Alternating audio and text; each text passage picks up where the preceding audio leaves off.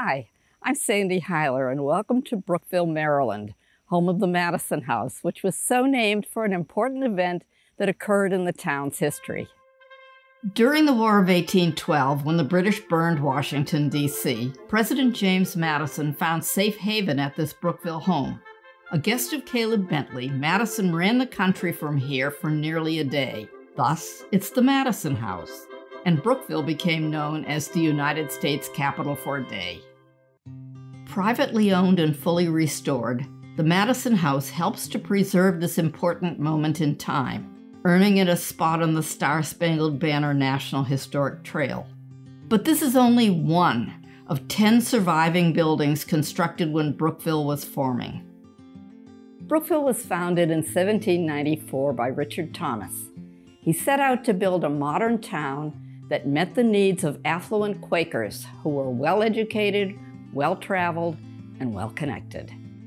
The site was well situated for commerce. Two post roads connected Brookeville to larger commercial areas. Surrounded by tributaries of the Patuxent River, mills operated at either end of town, along with a tanning yard. The town itself was laid out in a grid of quarter acre lots along two wide streets. The main street featured sidewalks and mounting blocks for horses, something not even Georgetown had so far accomplished. Within 20 years, there were 15 houses, along with a post office, blacksmith, doctor's office, stores, and this elite boys' academy.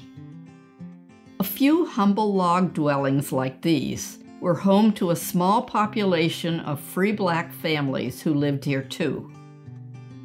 No one was ever enslaved in Brookeville. Residents freed any person they inherited from their parents.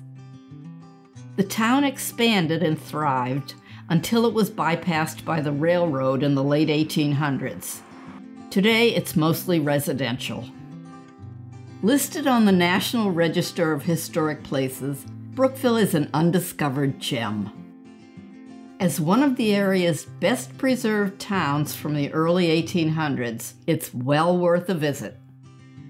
Annually, we participate in Heritage Days with open houses and exhibits and opportunities for docent led tours.